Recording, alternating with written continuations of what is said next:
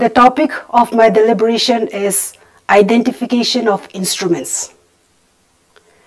Like any other sciences, the acquisition of knowledge in the subject anthropology too involves not just the theoretical aspects alone, but it involves equally in the actual field using certain standardized techniques with the help of the different types of apparatus, instruments, etc., which is commonly known as practical.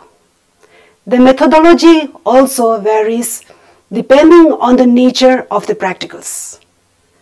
Physical anthropology, one of the branches of anthropology, focuses its main attention on the study of human evolution and human variation. For understanding human evolution and establishment of human variation, certain biological traits are studied in different ways. For example, certain traits are observed, some are measured, others are chemically tested, and so on, following certain well-defined procedures. Anthropometry as defined by Joan Comas is the systematic techniques for measuring and taking observation on men. His skeleton, the skull, the limbs, trunk, etc., as well as the organs, by the most reliable means and scientific methods. It deals with the techniques for measuring different parts of the human skeleton. In short, it is the art of system of measuring the human body and its parts. Anthropometry can be subdivided into osteometry that is measurement of skeleton, somatometry that is measurement of the living body or the cadaver. Anthropometry which basically deals with systematic techniques of taking measurements both on the living and the skeleton, requires the help of certain instruments. The measurements are of different kinds like linear, girth, skin fold, weight, dimensional measurements, etc. Most of the measurements are taken from one landmark to another. So it is very necessary to know the exact landmark of each measurement. There are different procedures for taking various anthropometric measurements. While taking paired measurements on the living, generally the left side is recommended as it is less likely to be affected by various factors, for example, occupational deformity, and change due to extra work. Further, all measurements have to be recorded following certain standardized techniques such as making the subject sit straight or stand erect against a wall, allowing the head to rest on the eye ear or the Frankfurt horizontal plane. In order to take the various measurements, different instruments such as sliding caliper spreading caliper, anthropometer and rod compass, weighing machine, measuring tape, Harpenden caliper, etc. are employed. Diversity. As it has been a handmaid to various branches of studies, a great diversity of measurement is seen by anthropological system of anthropometry, those measuring measurements are meant which are seen to be of greater general interest.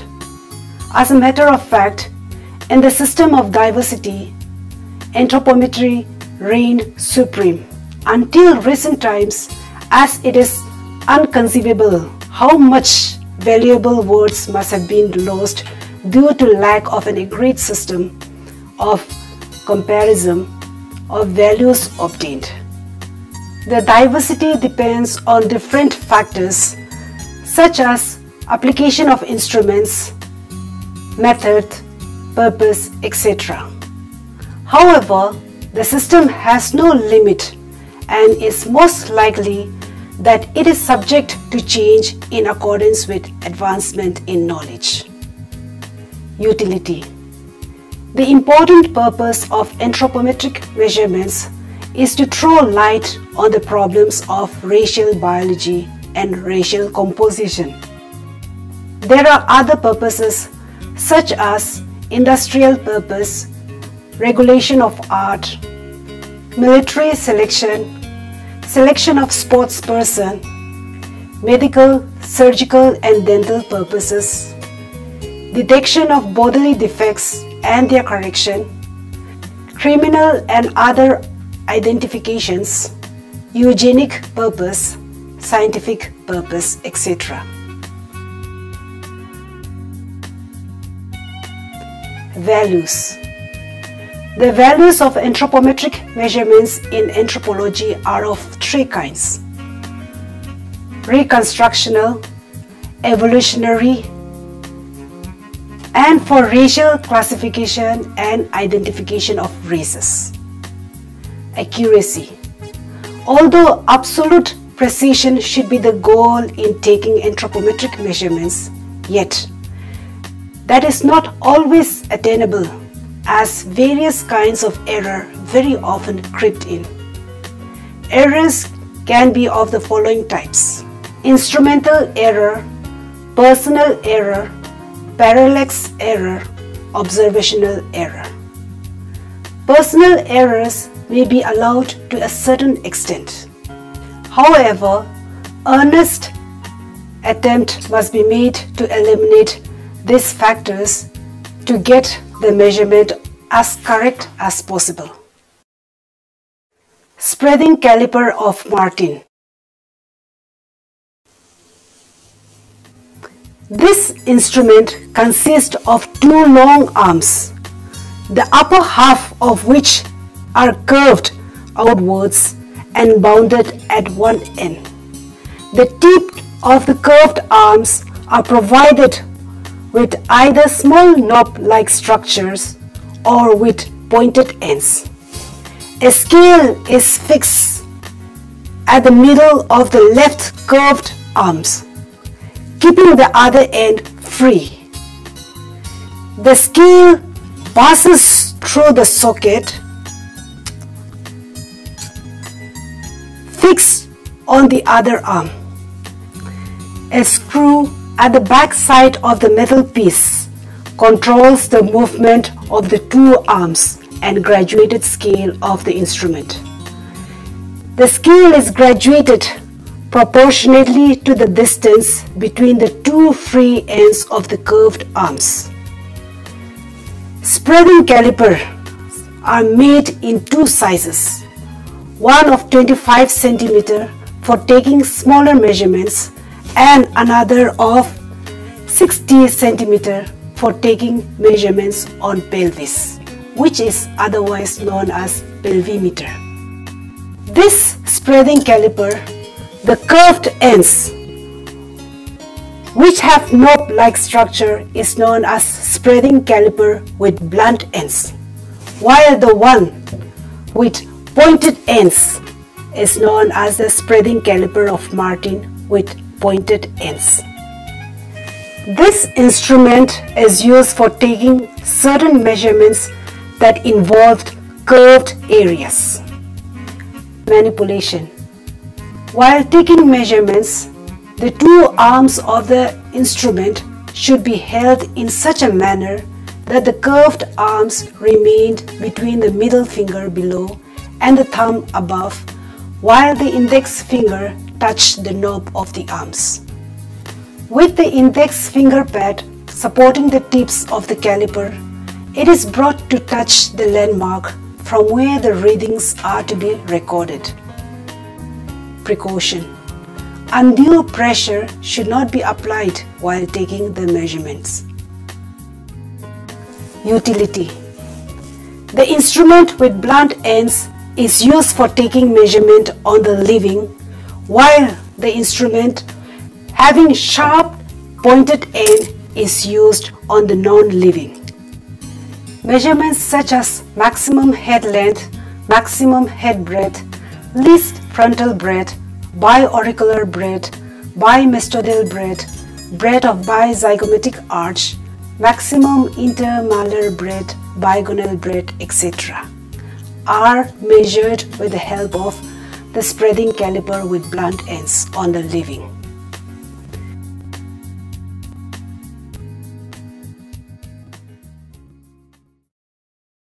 Sliding caliper it consists of a 25 centimeter long straight steel bar graduated on both the sides and two crossbars. One of the crossbars is fixed at one end of the scale while the other parallel to the first one can be slided over the scale with the help of a socket provided with a screw to be used to fix this socket at any place. Each of the crossbar has two ends, of which one is blunt and the other sharp and pointed. The blunt end is used for taking measurement on the living, while the sharp end is used on the skeletons that is the skull and bones. The scale is graduated starting from the fixed end and continued downwards up to 200 mm. Again, from the base of the set bar, starting from zero point, it goes up to the length of 50 mm upward. The scale at the lower region of the bar is used for taking certain depth measurement. In such a case, a change is to be made in arranging the instrument. The movable casket should be fitted on the main scale in a reverse order, that is, upside down position. Manipulation at the time of taking measurement by this instrument, the steel bar is held by the right hand between the palm and the forefingers of the right. After locating the landmark, the tip of the fixed upper crossbar of the caliper is held by the left hand and it is gently placed on the landmark. Then the movable crossbar is guided by the thumb and slided in upward or downward position so as to touch the landmark. The measurement is then recorded. Precaution To avoid hurting the subject while taking the measurement on the living, the tip of the fixed crossbar is held steadily using the left index finger or it can be held firmly between the thumb and the index finger. Utility It is used for taking shorter breaths such as nasal height, nasal breadth, nasal depth, external biocular breadth, inner ocular breath, mouth breadth, ear length, ear breadth, etc anthropometer. It is the most used instrument for many of the anthropometric measurements on the living. It consists of four segments which when joined together form a rigid rod of 200 centimeter that is 2 meters in length. On one side of the rod there is a graduated scale in an ascending order from the bottom to the top provided with a fixed socket through which an adjustable crossbar can be fitted. There is another socket with a window having provision for an adjustable crossbar and the socket can be slided up and down on the rod. One end of each of the crossbar is pointed with which the required landmark can be touched. Manipulation For taking the height measurements, for instance, stature, That is the vertical distance between the vertex and the floor. The subject is made to stand in an erect position with the feet running parallel to one another, the heels touching one another, the hands hanging by the sides, and the head resting on the eye ear or the Frankfurt horizontal plane. With the investigator standing at the right side of the subject, the anthropometer is held vertically in the mid-sagittal plane of the subject. The landmark is to be located by raising in horizontal position. The crossbar fitted to the movable casket is lowered to touch the vertex gently. The readings are recorded upper side of the window of the casket. In case of span or arm stretch measurement, that is the straight distance from one dactylion to the other in the fully stretched condition of the arms, the subject is made to stretch both the arms laterally and parallel to the floor. The anthropometer is held horizontally against the subject's stretched arms on the back side in such a manner so that the tip of the right middle finger touches the zero point. The subject is then asked to push the movable socket with the tip of the left middle finger as far as possible. In this condition, the readings is recorded from the inner border of the movable socket. Precaution When taking height measurements such as vertex or stature, height tragus, height acromion, etc., the subject should be made to remove his or her shoes before standing against the wall. In case of female subjects, while taking height vertex, the hair at the back of the head should be let down. Heels and buttocks should touch the wall and the head held in eye-ear plane. Note that the anthropometer is in vertical position, the crossbar fitted to the movable socket, which otherwise should touch the vertex gently. Utility The main purpose of the anthropometer is to take height measurements as well as transverse breadth of the body. Rod compass The rod compass is not a separate instrument but a part of the anthropometer. It is the upper segment of the anthropometer along with a movable socket and the two crossbars, which is known as the rod compass. It has a descending scale, the zero point of which begins at the lower end of the fixed socket. Manipulation For measuring certain horizontal length like biacromial or shoulder breadth, that is the straight distance between the two acromion points, the investigator stands behind the subject, holding the rod compass. The two acromion points are located by palpating with the help of the first finger. The main rod of the instrument is then held between the palm and forefingers, holding the fixed socket by the left hand, while the right thumb is used for moving the socket up and down. The two ends of the crossbars, having adjusted to the same length, are placed against the landmarks. The measurement is noted down at the inner end of the movable socket. Precaution Undue pressure should not be exerted on any of the landmarks while taking the reading on the living except for a few specific measurements such as bicristal breadth, spinal breadth, hip breadth, where a slight pressure is required to get the accurate reading.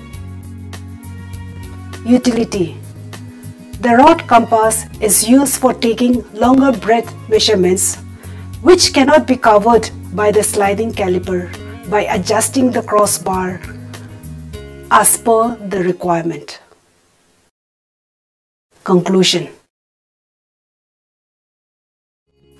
The principal focus of physical anthropology is to know man in depth with regard to his evolutionary trends as well as human variations that has come about in due course of millions of years. This could be achieved through the application of anthropometric measurements. For this, certain standardized instruments have been designed and are being employed for taking measurements of various natures on different parts of the body, both of the living and the dead, that is the skeletal remains. These measurements are then meaningfully interpreted.